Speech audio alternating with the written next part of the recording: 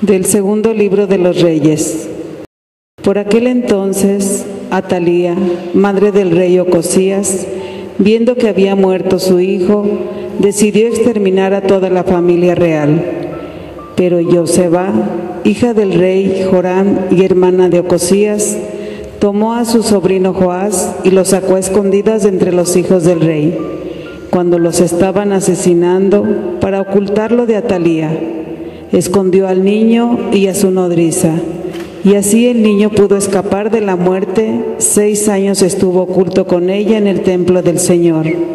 Y entre tanto, Atalía reinó en el país. El año séptimo, el sacerdote Yehoyadá mandó llamar a los oficiales del ejército y a los soldados de estos. Los introdujo en el templo del Señor. Les mostró al hijo del rey e hizo con ellos un pacto con juramento de cuidar al hijo del rey. Los oficiales cumplieron el pacto que habían hecho con el sacerdote Yehoyadá. Cada cual se puso al frente de sus hombres que entraban de guardia el sábado o terminaban su guardia el sábado y se presentaron ante el sacerdote Yehoyadá. Este les entregó las lanzas y los escudos del rey David, que estaban en el templo del Señor. Cuando los soldados de la guardia, con las armas en la mano, se pusieron en fila desde el lado sur hasta el lado norte del templo, rodeando el altar. Yehoyadá sacó al hijo del rey, le puso la diadema y las insignias reales y lo ungió. Entonces todos aplaudieron y gritaron, ¡Viva el rey! Cuando Atalía escuchó el clamor popular, fue al templo del Señor, donde estaba reunida la gente. Entonces vio al rey que estaba de pie sobre el estrado, según la costumbre, a los oficiales del ejército y a los heraldos en torno al rey, y a todo el pueblo que daba muestras de gran alegría. Mientras sonaban las trompetas, entonces Atalía rasgó sus vestiduras y gritó, traición, traición. El sacerdote Yehoyadá dio esta orden a los oficiales, sáquenla del templo y maten al que la siga.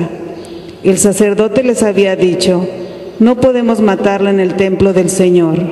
Así pues, los guardias la llevaron hasta el palacio real y le dieron muerte en la puerta de los caballos.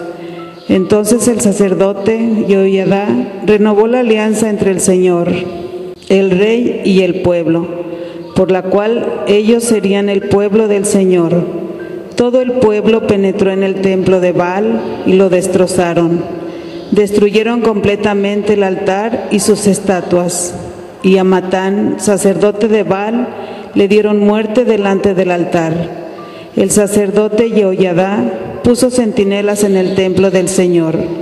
Todo el pueblo se llenó de alegría y la ciudad quedó tranquila. Atalía había sido muerta en el palacio real.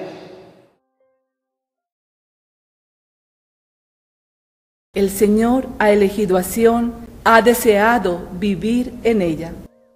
El Señor ha jurado a David una promesa que no retractará.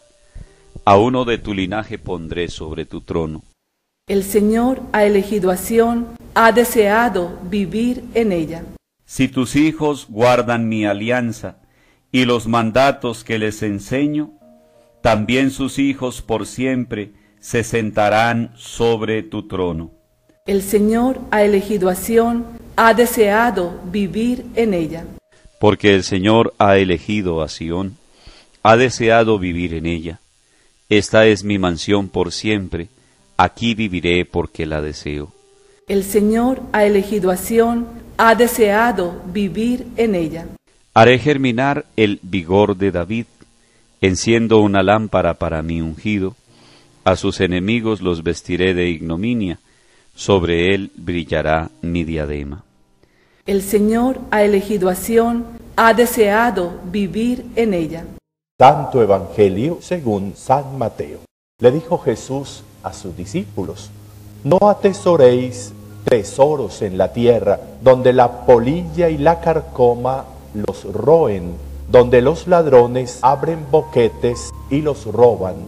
Atesorad tesoros en el cielo, donde no hay polilla ni carcoma que se los coman, ni ladrones que abran boquetes y roben, porque donde está tu tesoro, allí está tu corazón.